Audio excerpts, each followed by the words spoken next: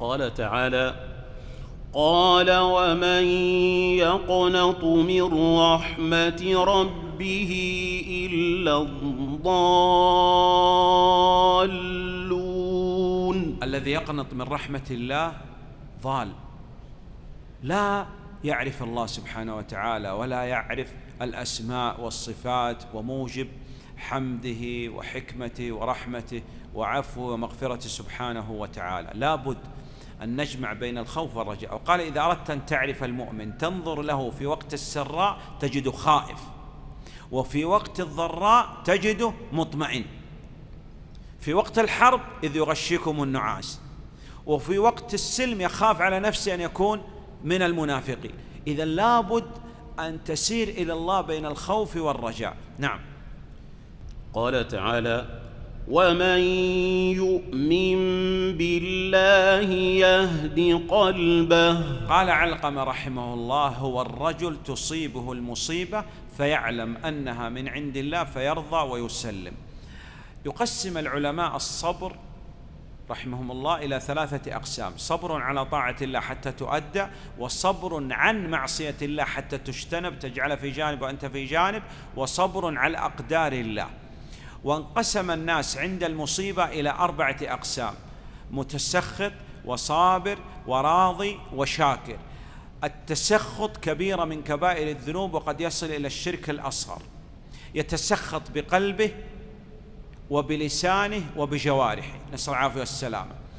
والصبر مثل اسمه مر مذاقته ولكن عواقبه أحلى من العسل. إنما يوفى الصابرون أجرهم بغير حساب وبشر الصابرين وما يلقاها إلا الذين صبروا وما يلقاها إلا ذو حظ عظيم.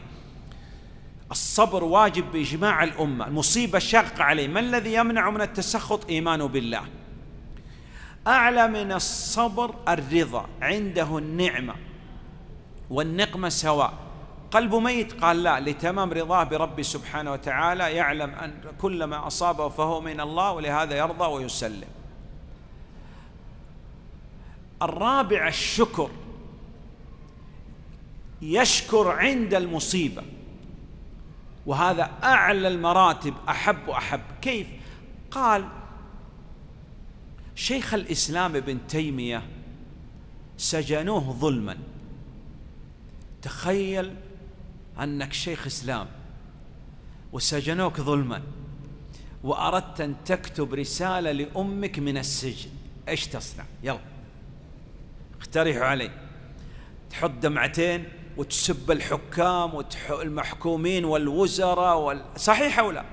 اليوم بعض الناس ليس لديه عمل إلا سب الحكام. يصبح الصباح يسب. لو تتعطل السيارة يسب الرئيس. صحيح والله. كأن الرزق بيد من؟ بيد الرئيس.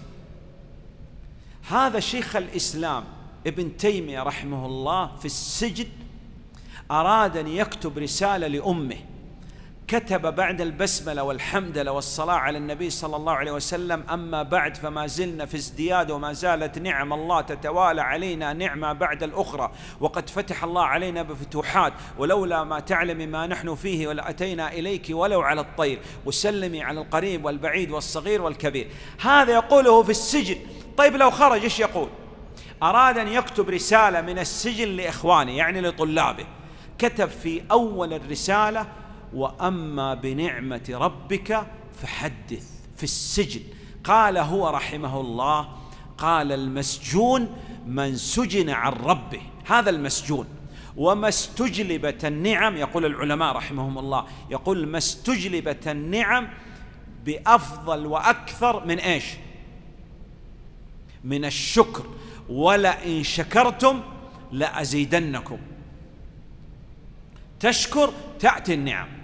تكفر تذهب النعم نسأل العافية والسلامة نعم. قال تعالى قل إنما أنا بشر مثلكم يوحى إلي أنما إلهكم إله واحد.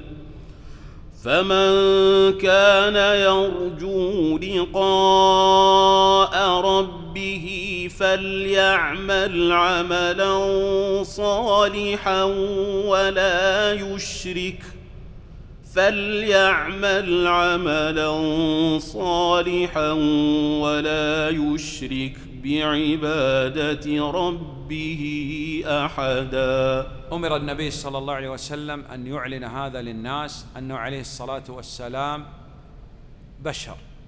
وتميز عنا عليه الصلاة والسلام بأنه يوحى إليه فهو عبد لا يعبد ورسول لا يكذب عليه الصلاة والسلام. وأعلى وصف يوصف به النبي صلى الله عليه وسلم وهو عليه الصلاة والسلام أرشد إلى هذا قال إنما أنا عبد فقولوا عبد الله ورسوله عليه الصلاة والسلام. يوحى إليه عليه الصلاة والسلام. وفي هذه الآية إخلاص العبادة لله سبحانه وتعالى وفي هذه الآية من أحب لقاء الله حب الله لقاءه وإشارة إلى رؤية المؤمنين لربهم في الجنة ويوم القيامة على ما شاء الله سبحانه وتعالى.